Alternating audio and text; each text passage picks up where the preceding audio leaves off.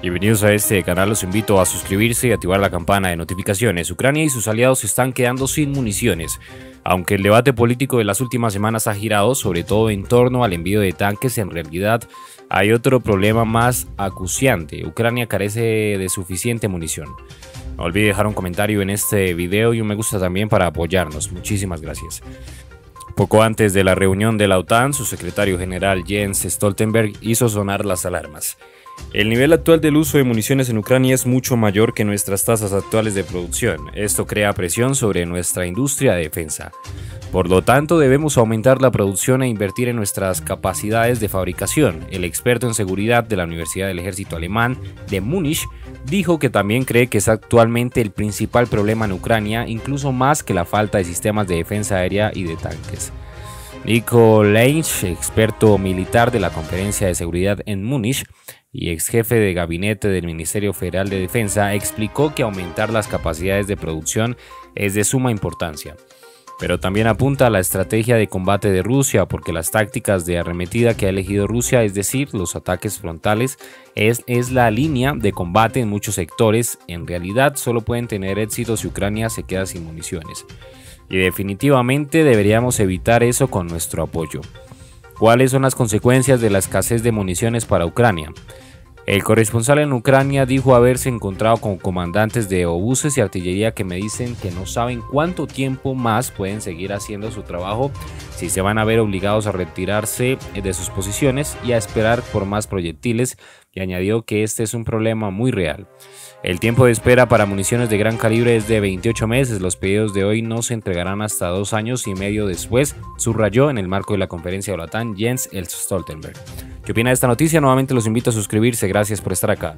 Noticias al día. Vamos en primer lugar a, bueno, a, resumir cómo es la situación en estos momentos en Ucrania.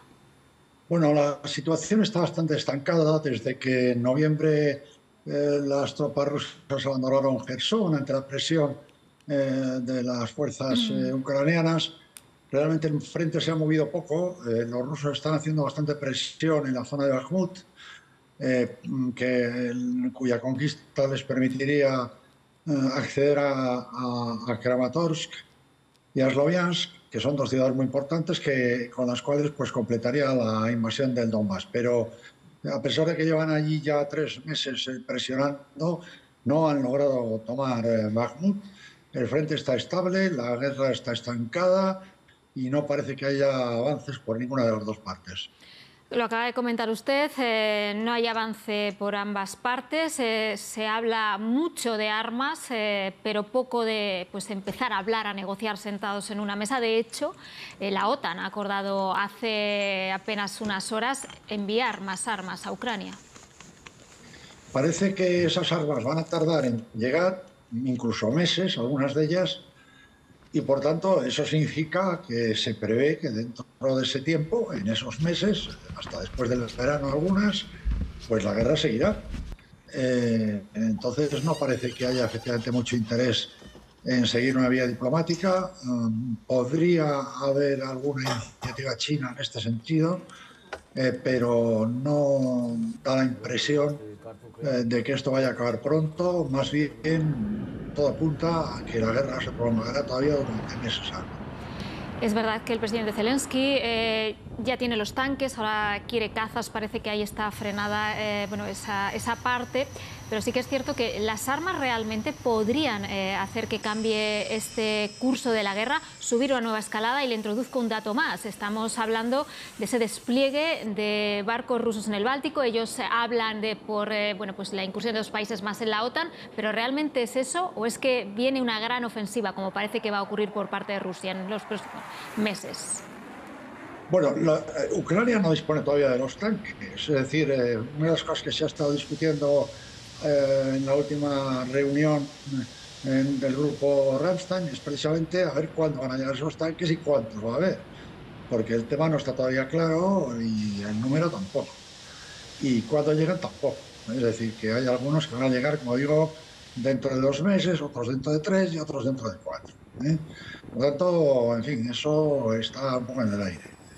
Él ha pedido además misiles de largo alcance, va a tener algunos, pero no los que quería y ha pedido aviones y de momento pues eh, no los va a tener. Eh, la ofensiva de ucraniana pues, tendrá que esperar seguramente hasta finales de primavera o principios de verano o incluso más tarde hasta que pueda constituir las unidades necesarias para hacerlo. Y en lo que respecta a Rusia, bueno, los eh, barcos en el Báltico eh, no suponen una amenaza directa, es más bien una demostración de fuerza, puesto que están lejos de las fronteras de Ucrania. Y, en fin, eh, sí se espera también que haya eh, una ofensiva rusa antes que la ucraniana, eh, pero no da la impresión de que ninguna de las dos vaya a cambiar demasiado la situación sobre el terreno. Puede haber ganancias por parte de unos, pérdidas por parte de otros, pero la situación no se va a resolver así. Ninguno de los dos está preparado por una victoria total y tampoco de ninguno de los dos está preparado para una derrota total. Acaba de decir usted, así no se va a poner fin. ¿Cómo se pondría fin desde su punto de vista, como entendido en esta materia? La única posibilidad de poner fin a esto es una negociación. Es una negociación. Parece que lo que quieren los países de la OTAN es que convencer a Rusia eh, de que el, el apoyo de Occidente a Ucrania no va a cesar, que va a estar siempre ahí, que va a seguir siendo muy fuerte, que, que le vamos a dar todo lo que necesite con objeto de que se convenza de una vez de que no puede ganar y entonces esté más blando, esté más dispuesto a sentarse en la mesa eh, de negociación. Pero cuanto antes se, se empiece con la vía diplomática, mejor, porque al final va a ser eso y mientras tanto, pues lo que está viendo es muchas muertes y mucha destrucción. Y luego es verdad que, por desgracia, la verdad es que esta pregunta es hasta dura hacerla. Hay beneficiados eh, en las guerras y en esta ocasión hablamos de las empresas de armas. Se está comprando armamento eh, a expuertas, ya no solo por parte, entiendo, eh, de Rusia, que supongo que tendrá a quien eh, bueno, pues le ayude en esto. De hecho, hemos visto cómo en cuestión de drones había sanciones por parte de, de los países occidentales a Irán, pero también ya se ha dicho por parte de los países occidentales que no hay armas y que se está comprando. Sí, eh, hay dificultades en el sentido de la munición, sobre todo, porque la munición, los stocks de munición que existen en los países eh, occidentales son bastante limitados y eh, casi son los mínimos necesarios para la defensa propia. Y Ucrania está gastando mucha munición y entonces no va a haber más remedio que poner a, a trabajar a fábricas de munición a pleno rendimiento o incluso poner en marcha alguna nueva. Es verdad, en todas las guerras eh, los primeros que se benefician son los que fabrican y venden armamento. Eso, con eso no descubrimos nada, ¿no?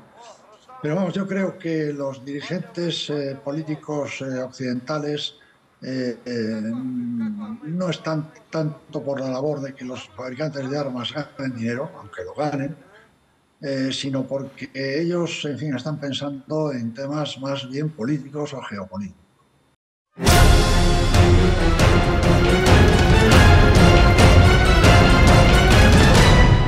Si no te quieres perder de los últimos acontecimientos que pasan en el mundo, suscríbete y activa la campana. Somos Noticias al Día.